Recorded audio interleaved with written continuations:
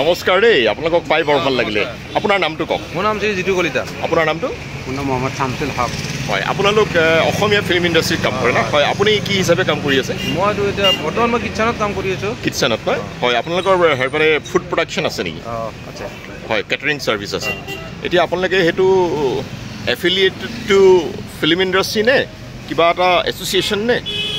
Film industry হয়। হয় association কৰে নেকি? এছ'চিয়েশ্যনৰ মেম্বাৰ হ'ব লাগে? হয় হয়।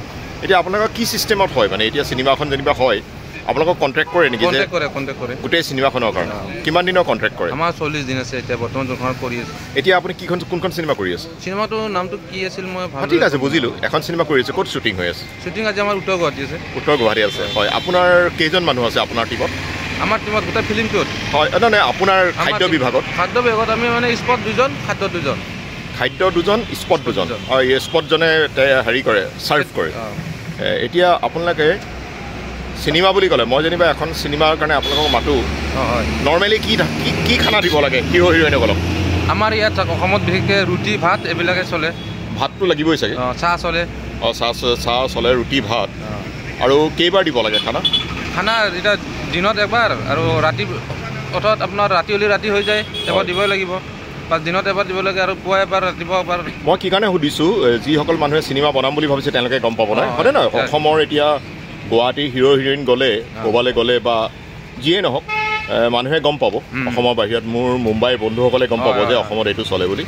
এতিয়া যদি মই টুৱেণ্টি ফ'ৰৰ শ্বুটিং কৰোঁ যেনিবা আজি ছটা বজাৰ পৰা আৰম্ভ কৰিছোঁ। কাইলৈ ছটা বজালৈকে।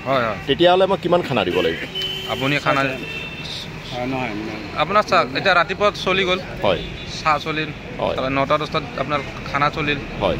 আৰু- নটা নটা দহটাতে দিব নেকি ভাত? নহয়, ভাতটো বাইদেউটো দিয়ে এই তাৰপৰা ৰুটি চুটি আৰু কিবা। তাৰ শ্বুটিঙত গুচি যায় না আৰু। হয়। নেক্সট আৰু আপোনাৰ দুটা তিনিটা চাৰিটা বজাতো ভাত চলে। হয়। অ'কে। হয়। মাজে মাজে চাহ চলি থাকে। হয় চাহ চলি থাকে। আৰু আৰু কাইলৈ যেতিয়া ৰাতিপুৱাই যায় ৰাতিপুৱালৈকে দিব লাগিব অঁ ৰাতি। দিব লাগিব। হয়। কষ্টকৰ কাম না? কষ্ট হয়। কিন্তু আপোনাৰ লগত খানা বনোৱা কেইজন মানুহ আছে?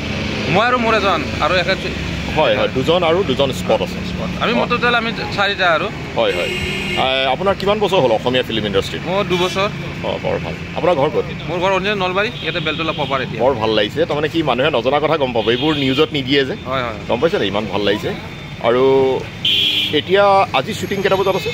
আজি আমাৰ আছে শ্বুটিং নটা বুলি দিছে আমাৰ কল টাইম নটা। হয়। আমি অলপ সোনকালতে ইয়াত অলপ চাহ পানী খালোঁ। টাইম নাপাওঁ ঘূৰিব। হয় হয়। তাৰপিছত গৈ পেলাই খানা বনাওঁতে কিমান সময় লাগে? মৰ্ণিঙতো বেছি টাইম নালাগে। প্ৰথম চাহকাপ বনাবলৈ হয়, হয় হয়।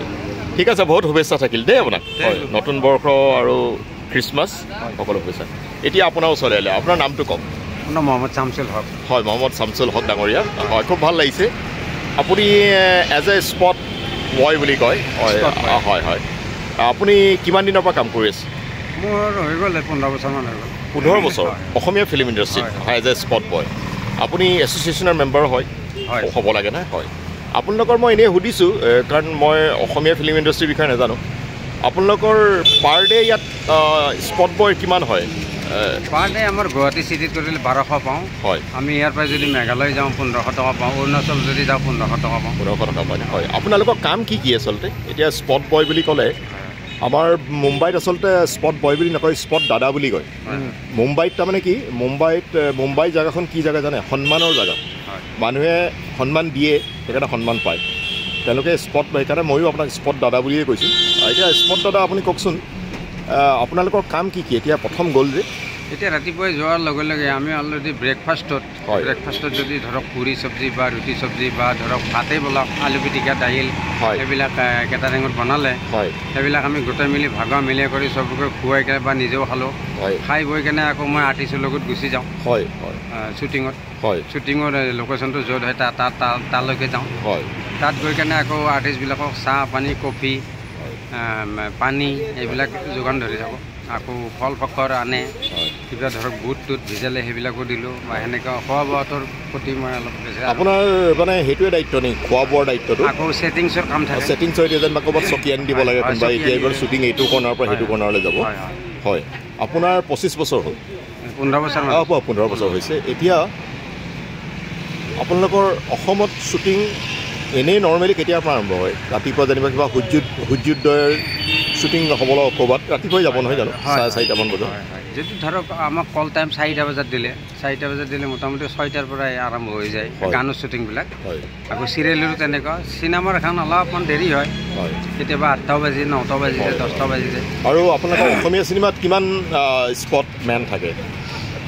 আচলতে ক'ব গ'লে এখন চিনেমাত স্পটত আমাৰ তিনিজন লাগেই। ছেটিংছৰ একজন স্পটত দুইজন। হয়। তাত আমাৰ মানুহৰ কম থাকে কেতিয়াবা মানুহৰ কাৰণে অসুবিধা হয়। হ'লে তেতিয়া আমি দুইজনেদিও চলাওঁ বা একজনেদিও চলাওঁ। হয়। তেনেকুৱা। বৰ ভাল লাগে। কৰি ভাল লাগিছে কাম ন? আপোনাৰ ঘৰ ক'ত এনেই আপুনি মোৰ- এনে নলবাৰী জিলা নলবাৰী হয় হয়। খুব ভাল লাগিলে কথা পাতি দেই। আপোনালোক আহক দুইজন। বৰ ভাল লাগিল। ধন্যবাদ।